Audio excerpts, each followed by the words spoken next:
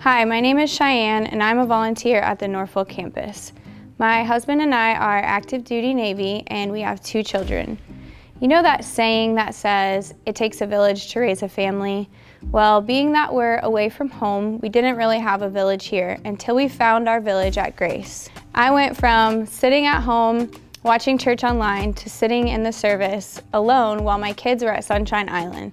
Whenever I come to church and I get to be in there alone and worship and spend time with God, I feel refreshed. I feel like that is my intimate personal time with God that nobody can take from me, that my kids are in good hands, and that I just get to embrace that hour on Sundays and really learn about God.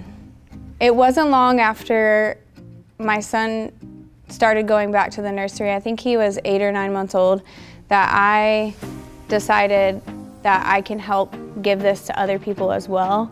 And it's, it's just amazing to be able to come in, volunteer, help other families, have that opportunity, and then still go to the service while my kids, you know, get to play and socialize and learn about Jesus. I grew up in church and I was baptized as a kid, but I didn't really have a personal relationship with God. It was more so just something that my family wanted for me. It wasn't until later in life when I started really questioning my faith and asking a lot of questions that I found those answers in scripture and I accepted that Jesus died on the cross for my sins and rose again to save me. My baptism for me was a way to publicly declare that I am now saved and I can follow wherever Jesus leads me now. After I was baptized here, as an adult, I knew that I had done it for the right reason, that I had made a personal relationship with God and that I, I felt clean, I felt new, I felt that I wanted everyone to know that I'm a follower of Christ.